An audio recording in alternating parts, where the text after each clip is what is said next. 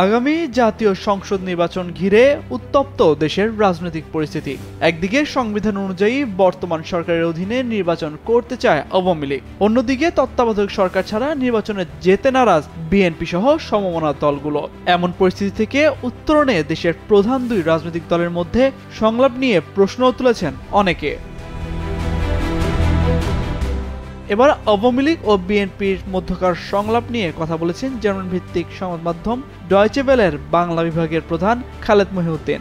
বলেন, মার্কিনীদের সঙ্গে বৈঠকের পর আওয়ামী লীগের সাধারণ সম্পাদক ওবেদুল কাদের বলেছেন, তারা বলেছে কম্প্রোমাইজ ও অ্যাডজাস্টমেন্টের কোনো সমাধান খুঁজে পাওয়া যাচ্ছে কিনা। তখন আওয়ামী লীগের পক্ষ থেকে বলা হয়েছে কম্প্রোমাইজ ও অ্যাডজাস্টমেন্টের স্পেস থাকতে হবে। সেই স্পেস বিএনপি রাখেনি। তারা প্রধানমন্ত্রীর পদত্যাগ চায়। খালেদ মহিউদ্দিন বলেন, আওয়ামী লীগের পক্ষ থেকে বলা হচ্ছে, কম্প্রোমাইজের ক্ষেত্রে বিএনপি কোনো স্পেস রাখেনি, ব্লক করে রেখেছে।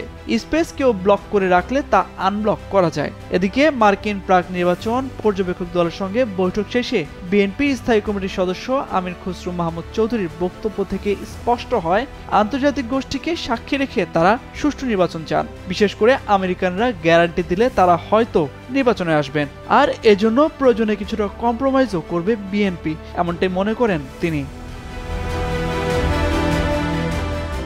ওবেদুল কাদের বলেন কম্প্রোমাইজের তো কোনো পথ বিএনপি খোলা রাখেনি। প্রথমত তারা একটা ক্লোজড চ্যাপ্টার ডেড ইস্যু তত্ত্বাবধায়ক সরকারকে সামনে নিয়ে এসেছে। সেটা ছাড়া হবে না। তাদের এক দফা তত্ত্বাবধায়ক সরকার প্রধানমন্ত্রীকে পদত্যাগ করতে হবে এবং নির্বাচন কমিশনকেও বাতিল করতে হবে, সংসদ বিলুপ্ত করতে হবে। এইসব দাবির মুখে কি করে কম্প্রোমাইজ হবে এমন প্রশ্ন তোলেন ওবায়দুল কাদের। এদিকে কেউ কেউ বলছেন বিএনপির দাবি আসলে একটাই, সেটা হলো নির্বাচনকালে শেখ হাসিনার প্রধানমন্ত্রী পদে না থাকা। আমির খসরু বেশ জোর দিয়ে বলেছেন, শেখ হাসিনার অধীনে নির্বাচন নয়। পরে এই সরকারের কথা বললেও অনেকের মতে শেখ হাসিনার সরকার প্রধান না থাকলেই বিএনপি নির্বাচনে আসবে। রাজনৈতিক মহলের ধারণা, শেখ হাসিনা সরে গিয়ে ক্ষমতায় থাকলেও পুলিশ বা প্রশাসনের ওপর আওয়ামী সরকারের সেরকম প্রভাব থাকবে না। আর একথা আওয়ামী লীগের নেতাকর্মীরা কম বেশি জানেন এবং মানেন বলে মনে করেন। বিশ্লেষকরা।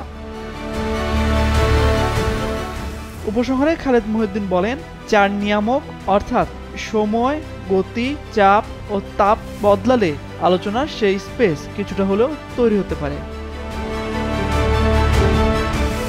তামজিদ মির্জা, কালবেলা।